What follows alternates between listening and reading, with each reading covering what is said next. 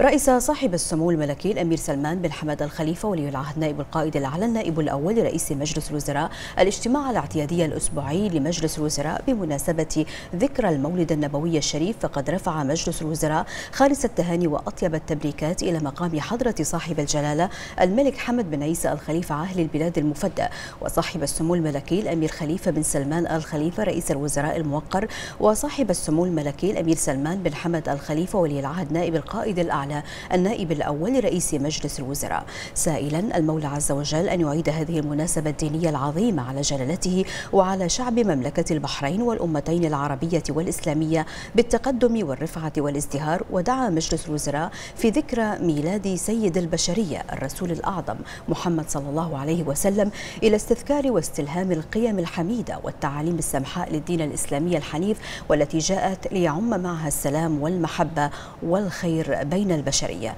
بعدها تابع صاحب السمو الملكي ولي العهد نائب القائد العلى النائب الأول رئيس مجلس الوزراء باهتمام المستجدات في حادثة وفاة الرضيعتين في مجمع السلمانية الطبي وتداعياتها. وتابع سموه الإجراءات المتخذة من الجهات المختصة للوصول إلى التقرير النهائي بشأن الواقعة تمهيدا لاتخاذ ما يلزم حيالها قانونيا وإداريا في حال ثبوت أي إهمال أو تقصير أو خطأ وذلك تفعيلا لمبدأ المحاسبة والمساءلة. معربا سموه عن بالغ مواساته لوالدي الطفلتين وذويهما في مصابهم الأليم. بعدها رحب مجلس الوزراء بالتوصل إلى الاتفاق التاريخي لبدء العلاقات بين جمهورية السودان ودولة إسرائيل برعاية من الولايات المتحدة الأمريكية حيث سيعزز هذا الاتفاق مناخ السلام ويدعم التعاون الإقليمي والدولي لتحقيق الأمن والازدهار في الشرق الأوسط وتوسيع نطاق التعاون بين دوله. كما رحب المجلس بقرار الإدارة الأمريكية برفع جمهورية السودان من قائمة الدول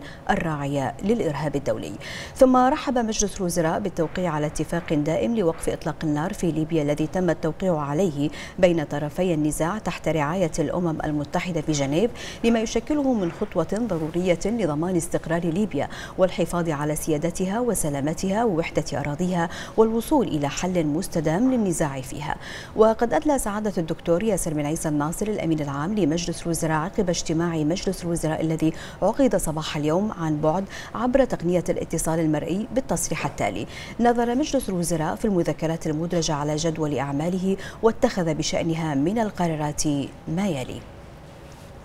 أولا تنفيذا للتوجيهات الملكية السامية لحضرة صاحب الجلالة الملك حمد بن عيسى الخليفة عاهل البلاد المفدى حفظه الله ورعاه. بتوحيد الجهود الوطنية لمواجهة انعكاسات انتشار فيروس كورونا كوفيد 19 عالميا بما يحافظ على صحة وسلامة المواطنين والمقيمين بالتوازي مع استمرار برامج الدولة ومسيرة عملها تحقيقا لمساعي التنمية المستدامة لصالح المواطنين واستنادا للمرسوم بقانون رقم 30 لسنة 2020 بإضافة بند جديد برقم 5 إلى الفقرة ج من المادة 8 من المرسوم بقانون رقم 78 لسنة 2006 بشأن التأمين ضد التعطل. فقد وافق مجلس الوزراء على سداد نسبة من أجور العمال البحرينيين والمؤمن عليهم بموجب قانون التأمين الاجتماعي الصادر بالمرسوم بقانون رقم 24 لسنة 1976 بحد أقصى 50% من الأجر المؤمن بموجبه. وذلك في الشركات الأكثر تضررا من تداعيات فيروس كورونا المستجد وفقا للشروط والضوابط التي يحددها وزير العمل والتنمية الاجتماعية وذلك من حساب التأمين ضد التعطل ولمدة ثلاثة أشهر اعتبارا من شهر أكتوبر 2020 وكلف المجلس الجهات ذات الاختصاص باتخاذ الإجراءات اللازمة بهذا الشأن. ثانيا قرر مجلس الوزراء اتخاذ الإجراءات الدستورية والقانونية لاسترداد خمسة مشاريع بقوانين معروضة على مجلسي الشورى والنواب لانتفاء حاجة الحكومة منها لصدور قوانين مماثلة لها وهي مشروع قانون بإصدار قانون الصحة العامة المحال وفق المرسوم الملكي رقم 53 لسنة 2002 ومشروع قانون بشأن الوساطة لتسوية المنازعات المحال وفق المرسوم الملكي رقم 86 لسنة 2008 ومشروع قانون بتعديل بعض أحكام المرسوم المرسوم بقانون رقم 21 لسنة 1976 بتنظيم مهنة الدلالة في العقارات والمحال وفق المرسوم الملكي رقم 59 لسنة 2007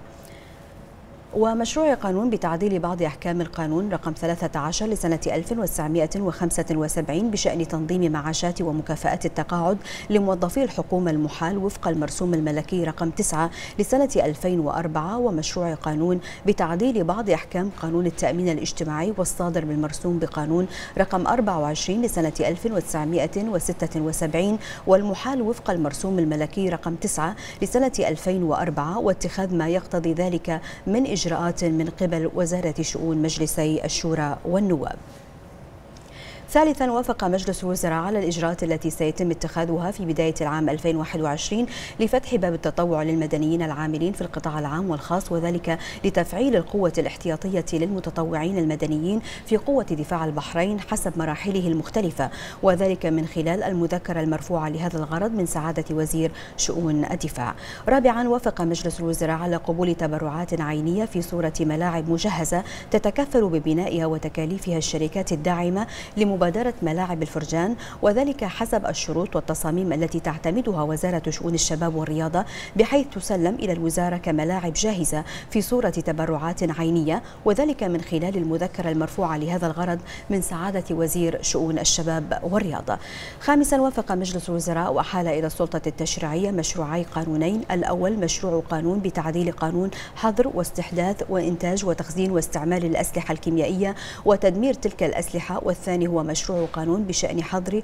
واستحداث وإنتاج وتخزين الأسلحة البيولوجية والتكسينية وتدمير تلك الأسلحة. يأتي ذلك في إطار حرص المملكة على إعداد مشروع وطني يعد تشريعيا يكفل وضع التزامات مملكة البحرين المنصوص عليها في الاتفاقيات والمعاهدات الدولية موضع التنفيذ وذلك على النحو الذي أوصت به اللجنة الوزارية للشؤون القانونية والتشريعية في مذكرتها التي عرضها معالي نائب رئيس مجلس الوزراء رئيس اللجنة المذكورة. سادسا وافق مجلس الوزراء على التقرير الدوري لأعمال لجنة التنسيق والمتابعة بين مملكة البحرين ووكالات الأمم المتحدة وذلك في ضوء المذكرة المرفوعة لهذا الغرض من اللجنة الوزارية للشؤون القانونية والتشريعية والتي عرضها معالي نائب رئيس مجلس الوزراء رئيس اللجنة المذكورة. سابعا أحال مجلس الوزراء إلى مجلس النواب مشفوعا بمذكرة برأي الحكومة حول حول مشروع قانون بتعديل قانون حماية المستهلك والذي تمت صياغته في ضوء اقتراح بقانون مقدم من مجلس الشورى.